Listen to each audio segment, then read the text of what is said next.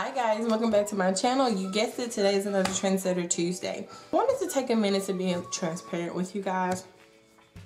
I have a Franken Plan planner which contains three planners, one of which I have not worked in at all, which is my budget planner just because we're getting settled. So I'm not gonna be using it the way that I thought I was. But once I figure out how I'm gonna use it, I'm definitely going to keep you guys posted on how I want to use my budget. And, I'm and I feel like it's going to come out of here and it's gonna be replaced with another planner. And I'll tell you guys about that soon, just not right now. But anyway, I wanna be transparent. Um, I love my trendsetter. I love the fact that it's month to month. I can make my goals the way I want to. It is absolutely perfect for my um, social media planner. However, I have not been utilizing it that way. Like, I wanted to gain 500 subbies on Teacher IG and planning in February. It's mid-March and I have not accomplished those goals gain 800 subscribers on YouTube. It's mid-March. I'm almost there, but I'm not quite. Increased black blog traffic. Haven't done that at all. My top three for this month was blogging, pinning videos, and recording. Have not pinned a video, have not wrote a blog post, have not um, recorded. I post on Instagram, but not as much as I, was, as I would like to and I did not check it off on my monthly habit tracker. Um, I always try to comment or like um, back when people leave me comments. I'm really good about that, but I didn't mark it off on my habit tracker. My IG story, I wanted to post something every single day just to keep my social media presence there, which is what my focus was this week. Didn't happen. So guys, and then I'm just gonna be even more transparent.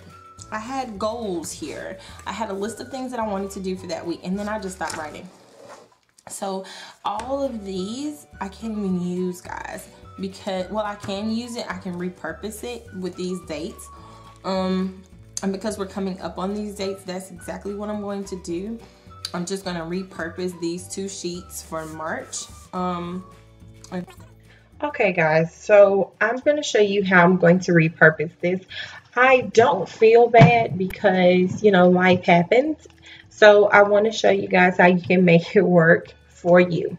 So the first thing you want to do is go to the pages that um, you were unable to use. As you can see, I'm not going to use 7 because I started writing in it.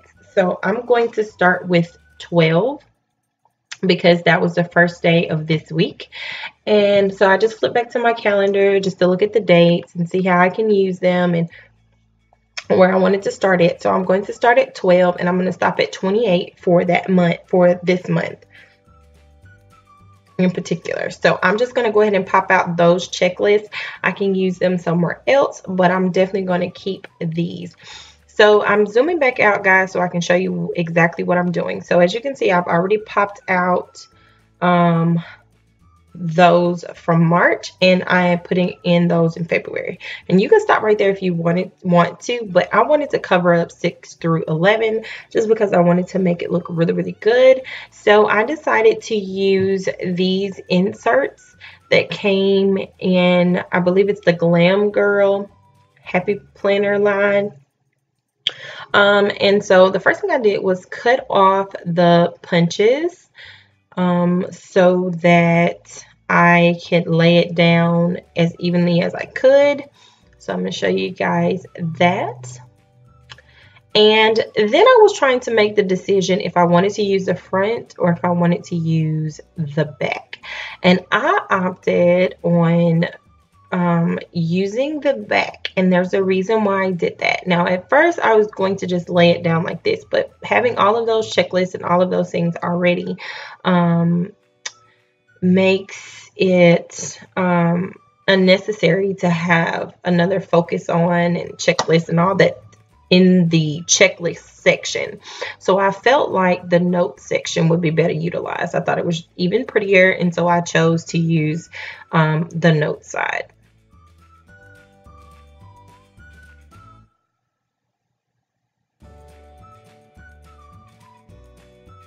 So after um, I measured everything, then I just glued that note section down on top.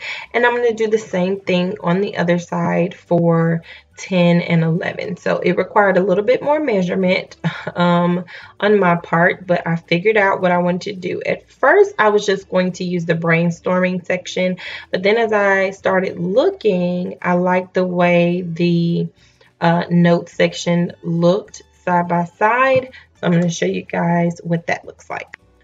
Okay, so I cut my sheet down, but as you can see, I covered up my 12 a little bit. So I had to go through um, and mark where I needed to um, trim it off from. So that's what I'm doing right now. I'm doing some trimming.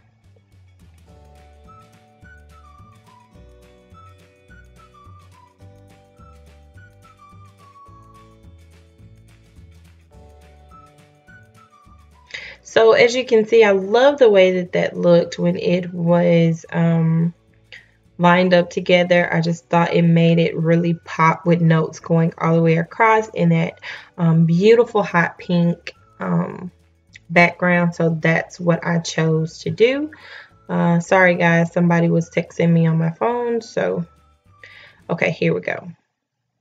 I love the way that turned out. So this is how I'm going to utilize my pages. Now, one of the things I forgot to do, guys, was to punch this in before I tried to put it back into my planner. As you can see, I couldn't get it to work, but that's fine because I have a punch.